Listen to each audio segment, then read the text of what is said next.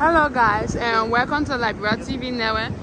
We are at PHP Park and for now people are not coming in to do anything so that's why we are standing at this distance to do the recording because they are still working on it and materials are still here. So this is the park.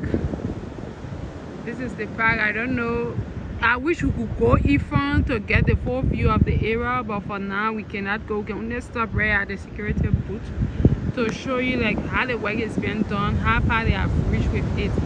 And eh, this is it so far.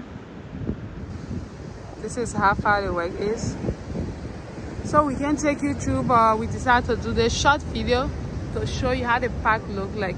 So we hope in the future to come back here and go into it more for you to see the beauty of the park to show you most of the work that have been done so so far so good. This is it and the ocean is actually blocked at the back there. As you can see this crush rag is all around it like trying to protect it from the ocean for it to not be swept away in the future.